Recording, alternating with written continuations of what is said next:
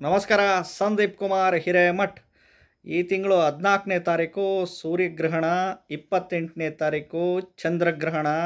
ನೋಡ್ರಿ, ಈ ಗ್ರಹಣದ ಪರಿಣಾಮ ಗಂಡಾಂತರ ಖಂಡಿತವಾಗ್ಲೂ ಫಾರಿನ್ ಕಂಟ್ರೀಸ್ಗಳಲ್ಲಿ ಹೊರದೇಶಗಳಲ್ಲಿ ಗಂಡ್, ಗಂಡಾಂತರ ಖಂಡಿತವಾಗ್ಲೂ ಫಿಕ್ಸ್ ಇದೆ. ಎಸ್ಪೆಷಲಿ ಪೊಲಿಟೀಷಿಯನ್ಸ್ಗಳಿಗೆ ಸ್ವಲ್ಪ ತೊಂದರೆಗಳು ಉಂಟಾಗೋ ಚಾನ್ಸಸ್ ಇದೆ. ಯುದ್ಧ ಭೀತಿಗಳಿಗೆ ಆಲ್ರೆಡಿ ನೋಡ್ತಿದ್ದೀವಿ ಇನ್ನೂ ರಣರಂಗನೆ ಸೃಷ್ಟಿಯಾಗುತ್ತೆ. ಯುದ್ಧ ಇನ್ನೂ ಹೆಚ್ಚಾಗಿ ಆಗುವ ಸಂಭವ ಇದೆ. ಹೊಸ ಹೊಸ ವೈರಸ್ಸು ಮತ್ತೆ ಉಲ್ಬಣ ಆಗೋಂಥ ಚಾನ್ಸಸ್ ಇದೆ. ರಾಜಕೀಯದಲ್ಲಿ, ರಾಜಕಾರಣಿಗಳಲ್ಲಿ ರಣರಂಗನೆ ಸೃಷ್ಟಿಯಾಗುತ್ತೆ. ಜೈಲಿಗೆ ಹೋಗೋ ಪ್ರಸಂಗಗಳು ಸಾಕಷ್ಟು ಇದ್ದಾವೆ.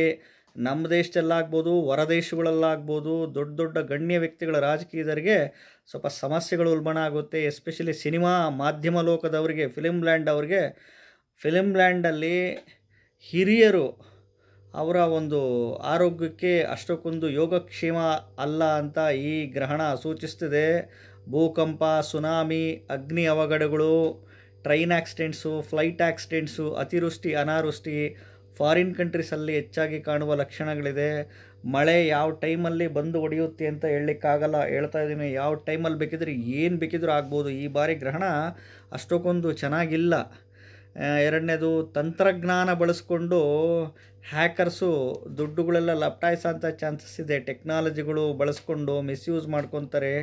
ಎಸ್ಪೆಷಲಿ ಹೊರದೇಶ, ಫಾರಿನ್ ಕಂಟ್ರೀಸಲ್ಲಿ ಸ್ವಲ್ಪ ಸಮಸ್ಯೆಗಳಾಗಂಥ ಲಕ್ಷಣಗಳು.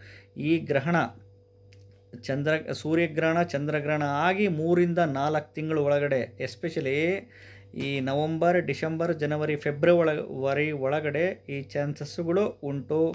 ಎಚ್ಚರ. ನಮಸ್ಕಾರ